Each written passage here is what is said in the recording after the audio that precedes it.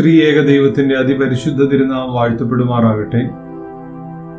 യേശുക്രിസ്തുവിന്റെ മാറ്റമില്ലാത്ത വചനങ്ങളിൽ കൂടി നമ്മുടെ ചിന്തകളും നമ്മുടെ ധ്യാനങ്ങളും ഒപ്പം നമ്മുടെ പ്രവൃത്തികളും ഓരോ ദിവസവും നയിക്കപ്പെടണമെന്ന ആഗ്രഹത്തിൽ നടത്തപ്പെടുന്ന ക്രിസ്തു സൂക്ത ദർശനം എന്ന ധ്യാന പരമ്പരയുടെ നൂറ്റി മുപ്പത്തിരണ്ടാം ദിവസത്തിലേക്ക് എല്ലാ പ്രിയപ്പെട്ടവർക്കും സ്വാഗതം. ഇന്ന് നാം ധ്യാനിക്കുന്ന വേദഭാഗം ശുദ്ധമുള്ള മത്തായി എഴുതിയ സുവിശേഷം. ഇരുപത്തി ഒന്നാം അധ്യായത്തിന്റെ പത്തൊൻപതാമത്തെ വാക്യം.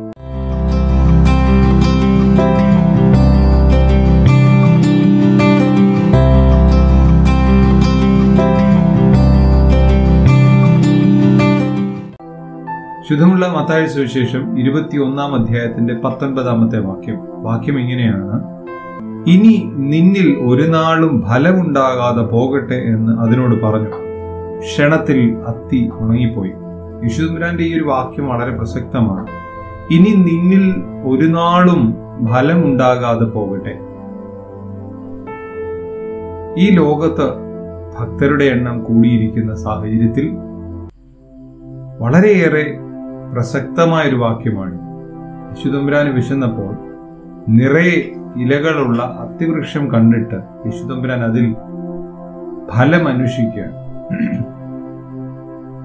അതിൽ ഫലമില്ലാതെ വന്നപ്പോൾ യേശുദമ്പുരാന്റെ പ്രതിവചനമാണിത് മൂന്ന് പ്രധാനപ്പെട്ട ചിന്തകൾ നിങ്ങളുമായി പങ്കുവയ്ക്കട്ടെ. ഒന്ന് പ്രകടനം നിറഞ്ഞ ജീവിതം ഒഴിവാക്കുക. പ്രകടനം നിറഞ്ഞ ജീവിതം ഒഴിവാക്കുക. അത് ആത്മീയതയിലായാലും ഭൗതികതയിലായാലും പ്രകടനമായിട്ട് ജീവിതത്തെ കാണാതിരിക്കുക. ഞാൻ ഭക്തനാണെന്ന് കാണിക്കാൻ എന്തെല്ലാം പരിപാടികളാണ് ഞാൻ ആലോചിച്ച് നോക്കാറുണ്ട്. പലരുടെയും കയ്യേലും കഴുത്തേലും കാലേലും തലയിലും ആവശ്യമില്ലാത്ത എന്തെല്ലാം രീതിയിൽ കുരിശുകൾ ഒട്ടിച്ചു വയ്ക്കുക അല്ലെ കുരിശുപരമായ കാര്യങ്ങൾ ചെയ്യുകയും ഒക്കെ ചെയ്യുന്നുണ്ട്. ഇതൊക്കെ എന്തിനു വേണ്ടിയാ? നീ ഭക്തനാണെന്ന് കാണിക്കാനോ? അതോ നിന്റെ ഭക്തിയുടെ അടയാളമായിട്ടോ? നിന്റെ ഭക്തിയാണ് നീ ഉള്ളിൽ നല്ലപോലെ പ്രാർത്ഥിക്കുന്നവനാകട്ടെ. നീ നന്മ ചെയ്യുന്നവനാകട്ടെ. അതിലുപരിയായി ഈ showing that I am a faithful disciple അതെന്തിനാ? നല്ല പ്രാർത്ഥനയോടെ ജീവിക്കാനിടയാകട്ടെ. അവിടെയാ നിന്റെ ഭക്തി തെളിയേണ്ടത്. നിന്റെ ഭക്തി ലോകരുടെ മുമ്പാകെ വരേണ്ടത്. അത് മാറ്റിവെച്ചിട്ട് പ്രകടനത്തിൽ കൂടി മാത്രം അത് ഞാൻ ആത്മീയതയിലായിരുന്നാലും ഭൗതികതയിൽ. എന്താ ഭൗതികയുടെ പ്രത്യേകത? ഭൗതികതയിൽ ചുമ്മാതെ നമ്മൾ കാണിക്കുന്ന പ്രകടനം കാരണം ഒരു സൗന്ദര്യമില്ലെങ്കിൽ കൂടി സൗന്ദര്യം ഉണ്ടെന്ന് വരുത്തി തീർക്കാൻ കുറേ പരിപാടികളെയും. അവസാനം അത് മാറുമ്പം മുഖം കഴുകി കഴിയുമ്പോൾ ഈ സൗന്ദര്യം എല്ലാം പോകും. പിന്നീട് അവിടെ കുടുംബ പ്രശ്നങ്ങൾ തുടങ്ങി അതുകൊണ്ട് പ്രകടനങ്ങൾ ഒഴിവാക്കുക.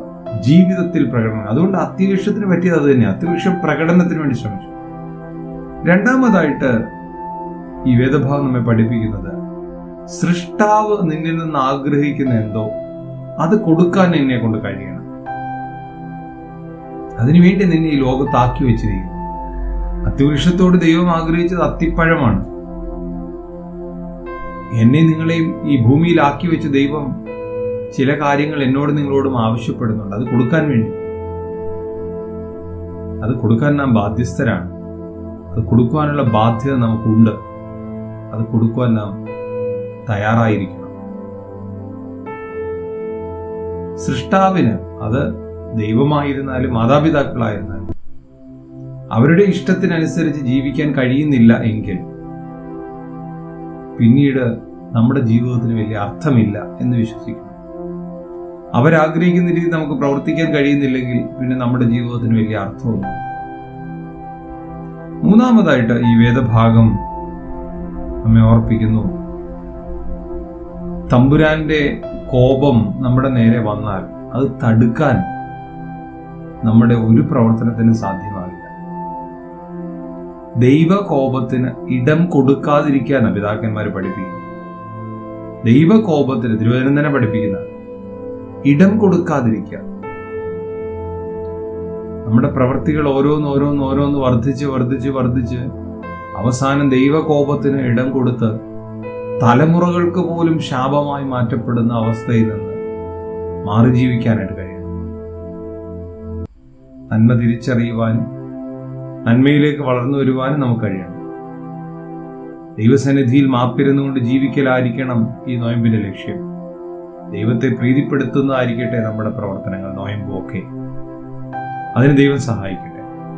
അത്യവൃക്ഷമാകാനല്ല നന്മയുള്ള വൃക്ഷമായി തീരാനിടയാക്കട്ടെ പ്രാർത്ഥിക്കാം. കാരുണ്യവാനായ ദൈവമേ സ്വർഗസ്ഥ പിതാവേ നിന്റെ സന്നിധിയിൽ അടുത്തു വരുവാനും നീ ആഗ്രഹിക്കുന്ന ഫലങ്ങൾ ഞങ്ങൾ കൂടി പുറപ്പെടുവിക്കുവാൻ ഇടയാകണം പ്രകടനം കാഴ്ചവെക്കുവാനല്ല മറിച്ച് ഭക്തി ഞങ്ങളുടെ ജീവിതത്തിൽ ഉണ്ടാകുവാൻ സഹായിക്കണം. തമ്പുരാന്റെ കോപം ഒന്നുകൊണ്ടും തടുക്കുവാൻ കഴിയുന്നതല്ല എന്നുള്ള തിരിച്ചറിവിൽ ജീവിക്കാൻ ഞങ്ങൾ ഇടയാക്കണം. ഇബ്രാൻ ഇഷ്ടമുള്ളത് പ്രവർത്തിപ്പാൻ ഞങ്ങൾ ഇടയാക്കണം. ഞങ്ങൾ നിനക്കും പിതാവിനും പരിശുദ്ധ സ്തുതിയും സ്തോത്രവും സമർപ്പിക്കുവാനായിട്ട് തന്നെ.